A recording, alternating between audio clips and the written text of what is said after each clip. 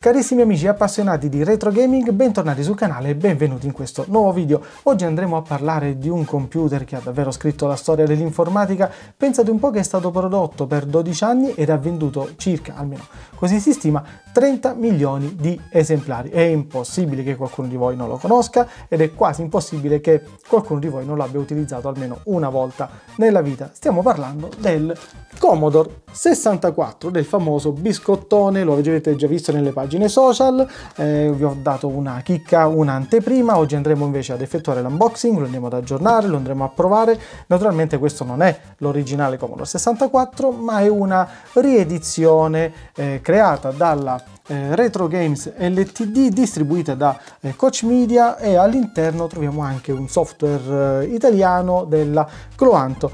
Eh, che cos'è quindi in realtà questo che è fra le mie mani? È una console commemorativa che deriva un po' da um, tutte quelle console uh, mini che stanno nascendo un po' per moda per andare ad accontentare tutti coloro che hanno i capelli bianchi come me e farli tornare un po' agli anni della giovinezza. Ne abbiamo viste tantissime, sia della, della Sega, della Nintendo, abbiamo visto anche la mh, mm, PlayStation 1, abbiamo visto il Neo Geo, abbiamo visto il Capcom, insomma ne, ne vediamo veramente tante di queste mini, mini console. Il Commodore 64, il primo The C64, io l'ho saltato perché effettivamente era una eh, mini console con la tastiera non funzionante, quindi di dimensioni ben ridotte rispetto a questa e sinceramente avere un Commodore 64 da collegare alla televisione, ok, tutto aggiornato, lo possiamo collegare in HDMI, tutto quello che ci pare, ma con la tastiera non funzionante, sinceramente per me era uno scempio e quindi io non avrei mai pensato, mai, mi sarebbe mai passato per l'anticamera nel cervello di andarla ad acquistare. Quando però ho visto che sarebbe uscita sia l'edizione VIC-20 sia l'edizione The C64, quindi del Commodore 64, in versione full size, che è quella che è qui fra le mie mani, con la tastiera funzionante ed il joystick finalmente direttamente con i micro switch mentre il The C64 Mini non aveva nemmeno i micro switch quindi insomma non era nemmeno eh, performante eh, non me la sono lasciata scappare. Soprattutto ragazzi attenzione perché verso aprile uscirà anche la versione anche se mini dell'Amiga 500 insomma ha fatto un po' proprio la mia infanzia. Io l'Amiga 500 ce l'ho avuto per anni l'ho adorato ci ho giocato tantissimo e quindi forse sul canale lo vedremo anche se in versione mini lo vedremo eh, e sono in trepidante attesa della versione poi maxi con la tastiera funzionante. A quel punto chiaramente eh, rimpiazzerò la versione mini con la versione full size anche dell'Amiga 500. Quindi per questo io non vi avevo ancora parlato del, della riedizione, del rifacimento del Commodore 64 perché attendevo che arrivasse eh, la notizia ufficiale dell'uscita dell'Amiga 500 per parlarvi prima del Commodore 64 e poi dell'Amiga 500. Quindi andiamo un po' a ripercorrere le, la storia di Commodore e poi anche di Amiga eh, utilizzando le loro nuove eh, console. Naturalmente andremo a vedere come è fatta questa console, ma prima non possiamo che non fare un accenno alla storia della Commodore. Naturalmente lo facciamo in pillole, non è questo il video dedicato alla storia della, della Commodore, questo è il video dedicato al DC64, ma naturalmente non possiamo non parlare del marchio e quindi Commodore viene fondata nel 1954 da Jack Tramiel, un imprenditore polacco che si trasferisce in America, tra l'altro sfuggendo anche all'olocausto, con in testa un progetto, cioè quello di fondare un'azienda produttrice di macchine da scrivere Purtroppo però alla fine degli anni 50 abbiamo già un primo intoppo in quanto i giapponesi iniziano ad esportare macchine eh, da scrivere a costo naturalmente più basso in America e costringono il buon Tramiel a spostare la sua produzione dalle macchine da scrivere alle calcolatrici meccaniche. A fine degli anni 60 abbiamo un po' lo stesso problema per la Commodore, cioè i giapponesi iniziano a portare in America le loro eh, calcolatrici meccaniche. A quel punto che cosa succede? Jack Tramiel eh, inizia a mh, mm, spostare la produzione nuovamente dalle calcolatrici meccaniche a quelle elettroniche utilizzando componentistica Texas Instruments. La, la stessa azienda, la stessa Texas Instruments nel 1975, essendo il principale fornitore di componenti elettronici della Commodore, decide di entrare direttamente nel mercato delle calcolatrici elettroniche producendole con un suo brand, con un suo marchio direttamente e quindi riducendo anche i costi. E questo stravolge totalmente i piani della Commodore che si trova nuovamente costretta a riorganizzare la sua società e questo avviene nel 1976 con l'acquisizione di MOS Technology eh, che produce eh, circuiti integrati, infatti il tutto viene rinominato Commodore Semiconductor Group anche perché non volevano più dipendere da fornitori terzi per quanto riguarda la componentistica eh, elettronica e decidono chiaramente di eh, produrseli da sé. Questo avrebbe creato molti meno problemi in futuro. Eh, l'acquisizione di MOS Technology comprende anche l'acquisizione di che cosa? Del microcomputer prodotto da MOS, cioè dal Kim One, ed era tra l'altro un microcomputer eh, basato sul microprocessore sempre di MOS, cioè il 6502. L'acquisizione della MOS però prevede anche un altro elemento chiave, cioè l'acquisizione di tutti gli ingegneri elettronici esperti eh, dell'epoca che erano dipendenti della MOS Technology e tra questi c'era anche Chuck Peddle, il quale convince Tramiel a concentrarsi sullo sviluppo dei personal computer ed era un mercato molto giovane e quindi anche molto promettente per l'epoca e quindi nel 1977 nasce il Commodore PET che montava una CPU appunto MOS 6502 2 ed aveva eh, memorizzato nella ROM anche il linguaggio di programmazione BASIC. In più nel 1981 che cosa succede? Arriva un suo successore del PET che comunque aveva già avuto un grandissimo successo, tra l'altro aveva eh, una tastiera con monitor integrato, insomma già aveva, si configurava come personal computer. Però eh, nel 1981 arriva il famosissimo, eh, chi di noi non lo conosce, VIC-20. Il VIC-20 eh, fu un capostipite perché inizia a, ad integrare anche un chip sonoro ed un chip anche grafico, tra l'altro a colori e quindi iniziamo a vedere un vero e proprio personal computer, è stato stravenduto, si poteva collegare ad un televisore invece che essere costretto ad utilizzare il monitor, poteva montare varie periferiche, tra cui le cartucce, un lettore di cassette per i dati, insomma aveva molte più possibilità ehm, di espansioni. In più in quegli anni c'è stata anche una massiccia campagna di marketing unita al prezzo concorrenziale di 299 dollari eh, addirittura il VIC-20 veniva venduto nei supermercati, quindi era di super facile reperibilità.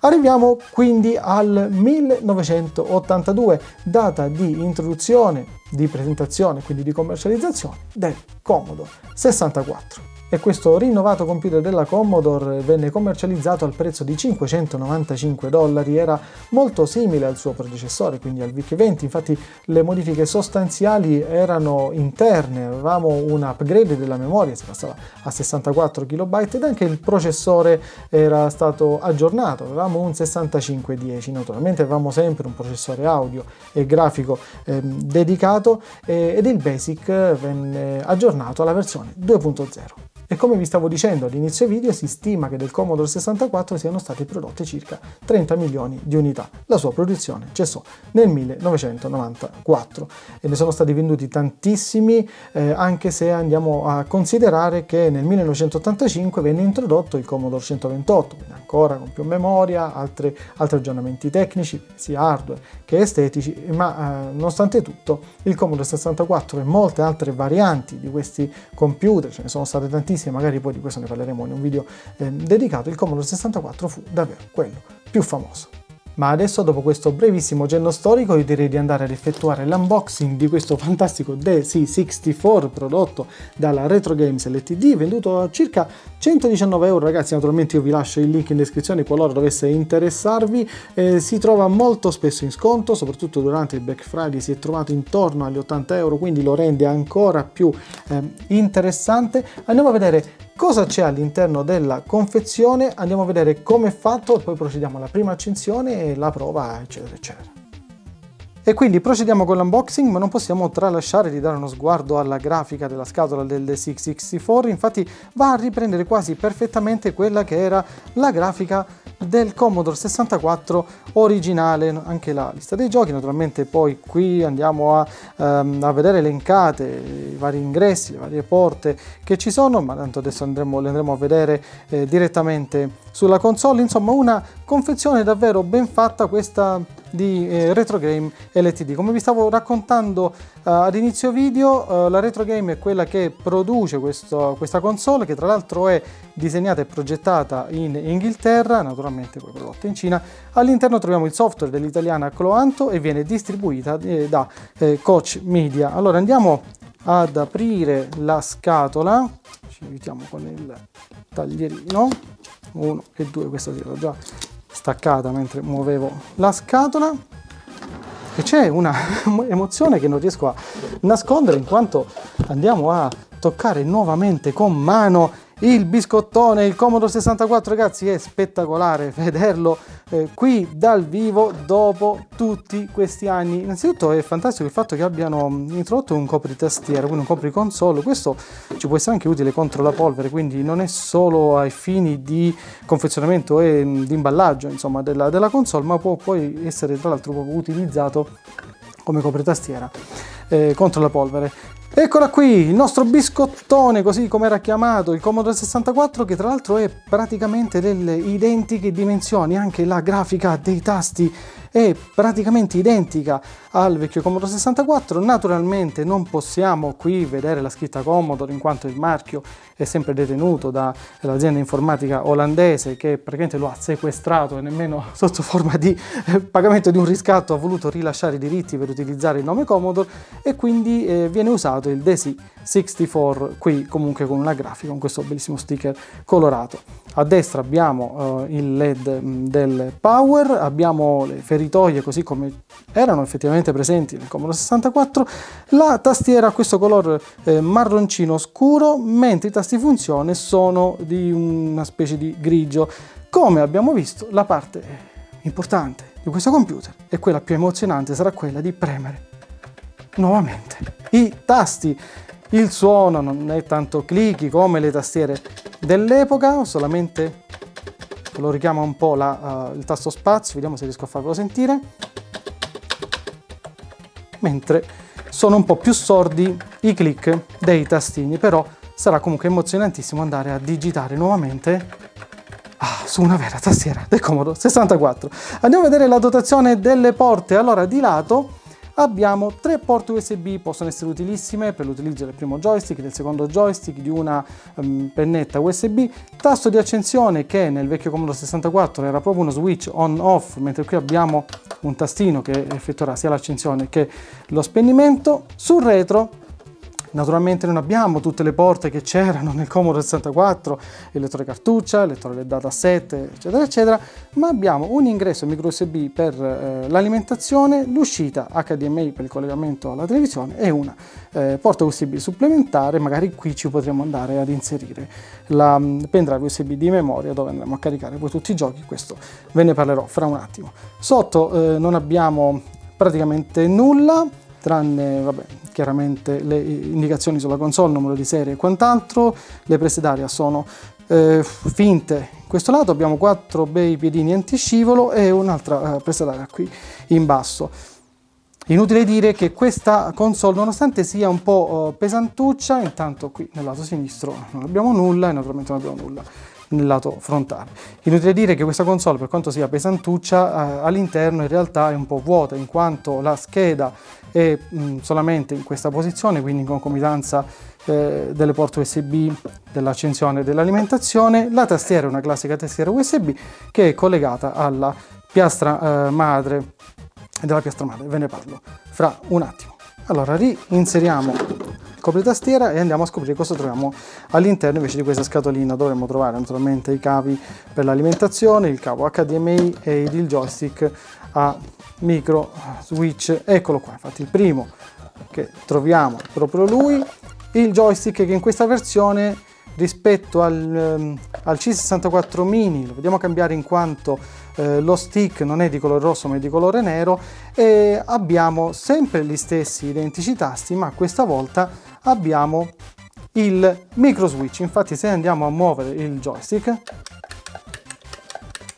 possiamo sentire il suono dei micro switch. Questo rende l'utilizzo eh, molto più semplice durante i giochi, infatti la pecca principale del C64 mini, del C64 mini, era proprio l'assenza dei micro switch. Il joypad era molto duro, non è che questo sia morbidissimo, ma sicuramente questo sarà molto più preciso eh, rispetto alla prima versione. La porta l'abbiamo vista USB, naturalmente la console può utilizzare fino a 4 con l'ultimo aggiornamento fino a 4 joystick. All'interno qui abbiamo un'altra scatolina, questa dovrebbe contenere i cavi, la cavetteria e l'alimentazione. Eccolo qui, alimentatore, noi ovviamente siamo in Inghilterra, quindi abbiamo una spina inglese, questo alimentatore eroga fino a eh, 2 ampere, quindi eh, questa console può essere alimentata anche tranquillamente da un power bank. Poi abbiamo un cavo USB, micro USB per l'alimentazione da collegare all'alimentatore ed il cavo HDMI per il collegamento alla TV.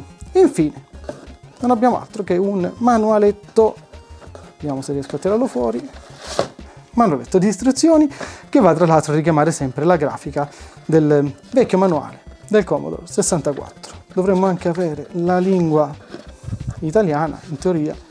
Vediamo un po', eccola qua, sì, abbiamo anche la lingua italiana. E quanto può essere emozionante ragazzi avere nuovamente fra le mani un Commodore 64. Eh, tutto questo non può essere trasmesso da una console mini con una tastiera non funzionante. L'effetto nostalgia del poter maneggiare una console con il form factor originale ed una tastiera realmente funzionante, così come vedremo dopo quando la collegheremo al televisore, addirittura il LED rosso che si andrà ad accendere, è davvero ha qualcosa di, di, incredibile. Naturalmente io lo so che questa non è la console originale, all'interno troviamo una semplicissima mainboard con un emulatore, la mainboard in questione un, è una Allwinner A20 con un chipset eh, Cortex A7 dual core, eh, una GPU eh, Mali 400, eh, insomma ha tutto quello che può essere necessario per far funzionare correttamente l'emulatore che è installato. Anche la replica, comunque di replica si tratta, del joystick eh, Competition Pro, no? perché l'originale del Commodore 64 era eh, il fantastico Competition Pro, è, è davvero ben, ben, realizzato. Anche questo ha dei gommini alla base, si impugna in maniera perfetta. Lo trovo solamente un pelino rigido, eh, doveva essere forse un po' più morbido, ma gli switch si sentono e si sentono benissimo.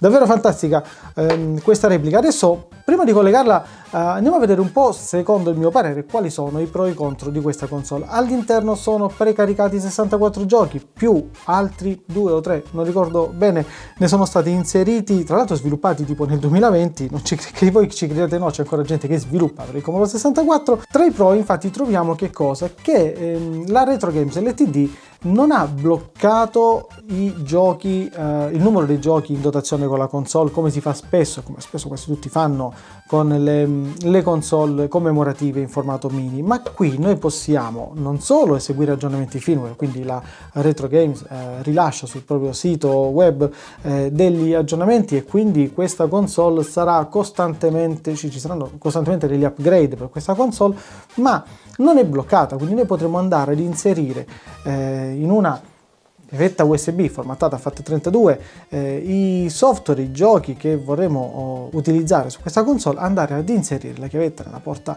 USB e quindi effettuare o gli aggiornamenti firmware oppure potremmo tranquillamente navigare anche all'interno delle cartelle e andare a selezionare delle ROM che siano esse in cartuccia, che siano esse in formato dischetto, che siano esse in formato addirittura cassetta perché l'emulatore eh, emula perfettamente addirittura i tempi di caricamento di una cassetta. Non solo, all'interno all'interno possiamo anche scegliere di far partire il PC, diciamo la console con il carosello dei 64 giochi oppure direttamente il Basic, quindi insomma eh, con questa console, nonostante eh, l'emulazione del BASIC fosse presente anche nella eh, versione mini, alla quale però dovevamo collegare una tastiera esterna, qui invece possiamo andare anche a eseguire delle linee di eh, programmi eh, in BASIC, quindi possiamo andare a listare in BASIC. E questo può essere anche carino per far avvicinare i nostri figli, insomma i giovani, al linguaggio di programmazione, mh, mm, così come poteva essere il BASIC. Comunque uh, un'idea di cosa significhi programmare lo possiamo avere. Il tutto con un prezzo ridottissimo, eh, può essere questo del DC 64 mini.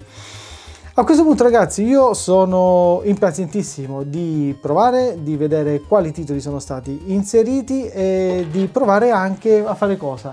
Ne ho scaricato qualcuno che utilizzavo nella mia infanzia e lo andremo a provare sul DC 64 e dopo aver collegato il DC64 alla scheda di acquisizione video io direi di procedere alla prima accensione ed anche all'aggiornamento del firmware che come vi dicevo si può facilmente scaricare dal sito della Retro Games. Eh, l'ultima versione è la 1.6.1 e quindi andremo anche a vedere che versione ci sarà installata non appena avremo acquistato nostro, eh, la nostra nuova console. Quindi clicchiamo il tasto di eh, accensione eh, l'ho collegato al power bank ma anche per effettuare una prova il power bank ha un'uscita di 2 A e quindi visto che l'alimentatore originale era da 2 A eh, volevo effettuare un po' una eh, prova Ecco qui parte la schermata della mm, Retro Games eh, e la prima cosa che appare a video è la scelta della lingua. All'interno del menu ci possiamo oh, muovere tranquillamente con il joystick come possiamo vedere. Come dicevo è un po' duro ma uh, la reattività uh, assolutamente c'è. La trasmissione a video è 720p quindi aspettiamoci una 1080 naturalmente questo tipo di scheda. Scegliamo l'italiano, abilitiamo uh, l'uscita a 50 Hz e adesso ci fa scegliere la modalità di boot fra il carosello di tutti i giochi oppure come vedete il sistema classico, cioè quello che parte con la schermata del basic, come vi dicevo qui potremmo anche scegliere di visualizzare il VIC-20, quindi andiamo sul carosello ed ecco qui il carosello dei giochi con una musichetta, con quella che potete sentire, magari poi il volume lo abbassiamo così non ci dà fastidio. Qui abbiamo il carosello dei 64 giochi con una eh, descrizione tra l'altro in italiano del, del gioco, l'autore, il compositore della musica, il genere del gioco e l'anno di uscita. Facciamo una velocissima eh, carrellata, ma abbasso la musica perché dà, dà anche abbastanza fastidio. Allora abbiamo l'attacco dei cammelli mutanti, molti ragazzi di questi giochi um, non sono ultra famosi, o perlomeno io uh, non, non, non, me li ricordo, vi devo, devo dire la sincera, la sincera verità, eh, ma non abbiamo tutte licenze AAA, eh, naturalmente. C'è qualche gioco famoso ed altri invece sono stati inseriti perché le licenze um, costavano pochino. E per fortuna abbiamo la possibilità, come vi dicevo, di inserire qualsiasi gioco noi eh, vogliamo tramite chiavetta USB e quindi non abbiamo alcun problema, cioè potevano tranquillamente consegnarcelo anche vuoto e noi lo avremmo riempito con i giochi in nostro possesso oppure con i giochi comunque che ci piacciono.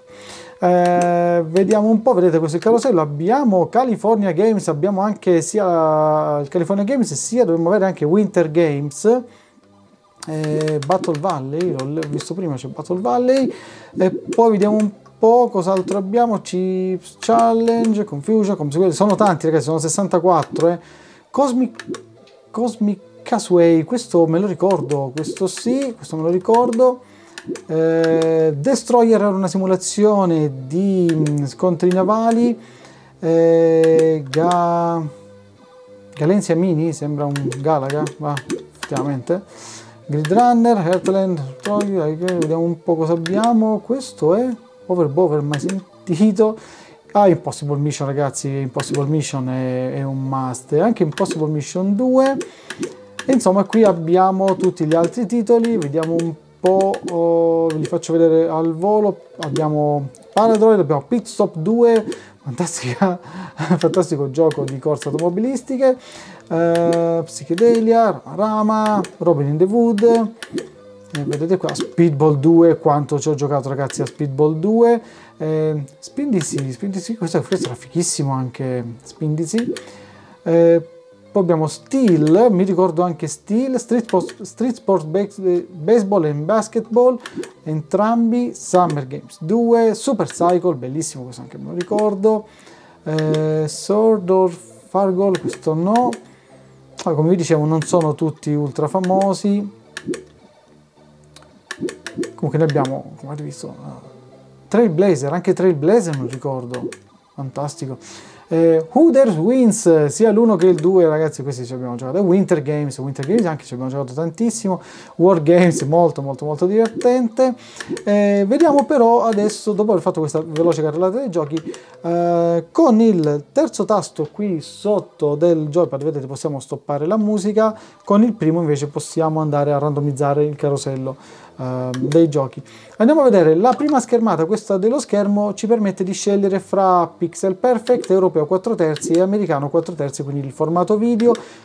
Tutti e tre li possiamo anche scegliere con il filtro eh, CRT, questo che crea, vedete, queste, queste bande. Ok, dopo aver scelto il formato, a questo punto lasciamo Pixel Perfect, andiamo a vedere, ah, ci fa uh, riscegliere la lingua, impostazioni, abbiamo il modello del computer, vedete abbiamo C64 PAL, C64 NTS, NTSC, VIC20 PAL e VIC20 NTSC. Possiamo scegliere la modalità di boot fra carosello e classico, eh, questo adesso mm, la vediamo, alla modalità classica, note legali, informazioni di sistema, abbiamo eh, il film vedete 1.3.0 quindi um, abbiamo un aggiornamento del film da fare. Adesso ci dice aggiornamento del film non trovato. Molto importante fare l'aggiornamento del film perché va ad introdurre non solo delle migliorie chiaramente software va ad introdurre dei nuovi eh, giochi ma soprattutto delle nuove funzionalità sull'emulatore come per esempio espansioni di memoria. Abbiamo il supporto con gli ultimi aggiornamenti abbiamo anche il supporto del mouse e per chi sta aspettando di utilizzare ehm, GOS eh, chiaramente eh, serve il mouse. E poi vedete abbiamo passa a modalità classica. Se clicchiamo su passa a modalità classica adesso si aprirà la schermata del basic. Ed eccolo qui Commodore 64 Basic in versione 2 64 eh, K di RAM. Beh, e, e, chiaramente adesso abbiamo anche la, uh, vedete la tastiera funzionante e possiamo scrivere utilizzando utilizzando eh, il nostro eh, Commodore 64, il DC64. Infatti vi proviamo a dare un veloce comando, diamo il load, lui ci dice di premere play sul dataset, è veramente fantastico. E se vogliamo richiamare il menu clicchiamo sull'ultimo tasto, quindi questo qui che ha le tre icone sul, sul joypad, possiamo salvare e caricare la partita, abbiamo vedete l'accesso dei dati, abbiamo la schermata di nuove opzioni che ci permette di tornare alla modalità carosello oppure resettare il computer alle impostazioni di fabbrica. Cliccando su um, torna al carosello torniamo nella... Um, nella schermata di selezione dei giochi. Cosa succede se andiamo ad inserire una pendrive all'interno mm, di una porta USB? Adesso dovrebbe apparire l'icona della uh, pendrive, eccola qui, vedete è apparsa l'icona della pendrive, a questo punto possiamo andare a navigare all'interno della pendrive possiamo navigare all'interno delle cartelle quindi possiamo creare la nostra libreria giochi personalizzata all'interno della pendrive. Io eventualmente in descrizione vi lascio un consiglio una pendrive veramente discreta di SanDisk eh, che può essere da 32 da 64 giga talmente discreta che se la lasciate collegata dietro al pc poi non ve ne accorgete nemmeno della sua presenza. Ho anche eh, scaricato il firmware che si trova nella root principale della chiavetta. Infatti adesso se noi torniamo mm, indietro e andiamo di nuovo nelle impostazioni di sistema e andiamo eh, sulle informazioni di sistema ecco qui lui ci dirà aggiornamento del firmware. Trovato 1.6.1 l'ultima versione presente sul sito. Vuoi fare l'upgrade del firmware? Diamo applica. E a questo punto vedete partirà l'aggiornamento del firmware che come vi dicevo è importantissimo da, da, effettuare. E questo secondo me è uno dei pregi di, di queste nuove console eh, in quanto abbiamo la Retro Games che mh, segue lo sviluppo, quindi aggiorna costantemente le nostre console e non le lascia nel dimenticatoio a, poi a prendere polvere. E difficilmente ci riusciremo a stancare a questo punto del nostro Commodore 64 o dell'Amiga 500. Naturalmente i ragionamenti sono anche per le versioni mini, tutto questo vale anche per le versioni mini. Qui dovremmo anche aver adesso aggiunto dei nuovi titoli, adesso abbiamo tutti gli anni, vedete per esempio, eccolo qui, uh, Barney Badger lo abbiamo dell'anno 2016 e in più dovremmo avere, vedete, del 2008 un gioco per VIC-20, tra l'altro vi faccio vedere la schermata per VIC-20, se andiamo nelle impostazioni uh, io andrei anche a farvi vedere mm, il modello di computer. Andiamo a selezionare VIC20 PAL. Torniamo indietro. Se passiamo adesso nella modalità classica adesso dovrebbe aprirsi eccolo qui il basic del VIC 20 è veramente fantastico ragazzi è veramente eccezionale. Quanti ricordi quanti ricordi Ragazzi, spettacolare. Opzioni, torniamo alla modalità carosello. Adesso siamo nella modalità VIC-20, ma nella moda modalità carosello ho visto che cambia poco. Torniamo a C64 PAL e proviamo a um, far partire un titolo. E lo facciamo partire anche per provare i filtri grafici. Quindi io direi di provare un, uh, un titolo di corsa, l'avevo visto, uh, C6, C6, C6 uh, uh, uh, pit stop 2, eccolo qui.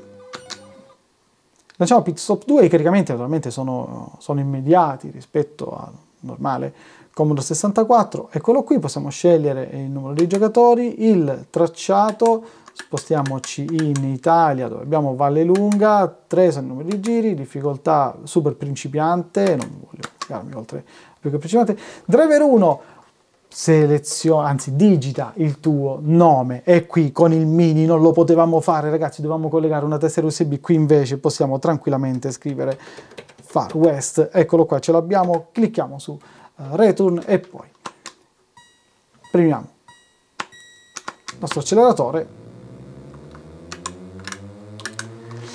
Allora, la risposta molto molto molto reattiva dei micro switch del joystick si fa sentire fin da subito, eh?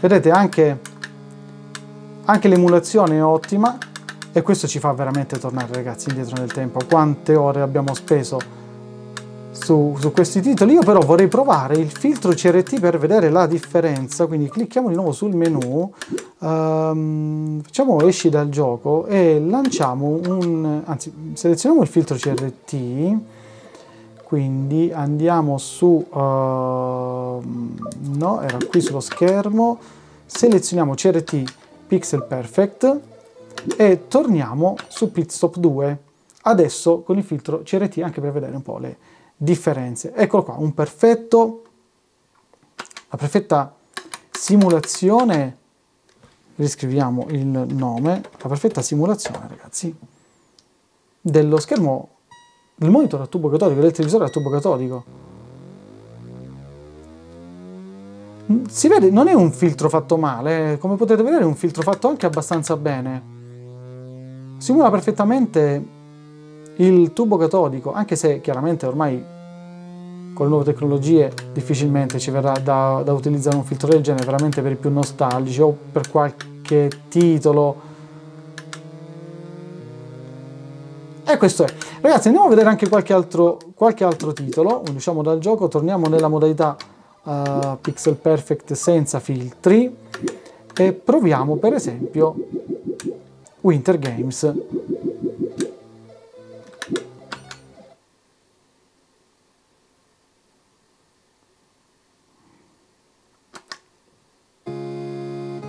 Anche qui ragazzi, ma che bello è giocare a questi titoli. Fatemi sapere nei commenti quanto ci avete giocato. E qui abbiamo, oltre alla cerimonia di apertura, abbiamo tutte le competizioni. Io direi di eh, fare pratica su un evento e io ricordo che mi piaceva tanto il Bob e quindi andiamo a provare proprio questa disciplina i caricamenti sono velocissimi. Ok facciamo start. Mamma ragazzi. Che spettacolo. Sembra ecco stavo, stavo appena per dire mi sembra di averci giocato fino a ieri è, è veramente ragazzi un'emozione un fantastica. Ok, dei titoli magari poi ne possiamo anche parlare mm, successivamente, se volete vedere qualche titolo particolare fatemelo sapere qui nei commenti. Voglio farvi invece vedere come poter caricare un gioco da pendrive USB. E tra tutti i titoli che avremmo potuto provare, 7,5 ragazzi. Io giocavo tantissimo con Gino al 7,5. Nome del giocatore, anche qui inseriamo il nome del giocatore, diamo invio. E questo era un gioco fantastico perché aveva la voce di Gino sintetizzata con la quale potevamo giocare. Avevamo, lui dà le carte, abbiamo, avevamo 100.000 lire da giocare, ragazzi. Proviamo a fare una mano. Puntiamo 1000 lire, quante erano belle le 1000 lire, come diceva Maurizio Battista. Diamo invio, lui ci serve carta perché abbiamo, possiamo giocare con la tastiera, possiamo giocare con la tastiera.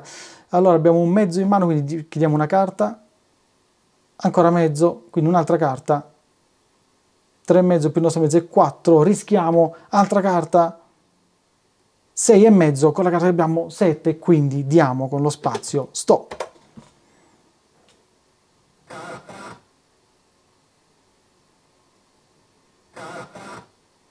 Speriamo di battere Gino, ragazzi. Adesso ha 2,5 in mano, non sappiamo quale sarà la sua carta coperta.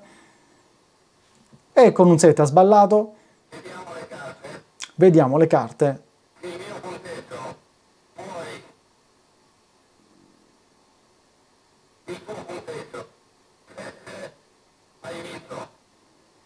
E ragazzi, dopo aver battuto Gino, io direi, per non far durare il video anche eh, 5 ore, eventualmente sui giochi ci, ci, ritorniamo. E come abbiamo visto amici, tramite il nostro DC64 potremo rigiocare a tantissimi di quei titoli che ci hanno fatto passare interi pomeriggi incollati alla, uh, alla tv.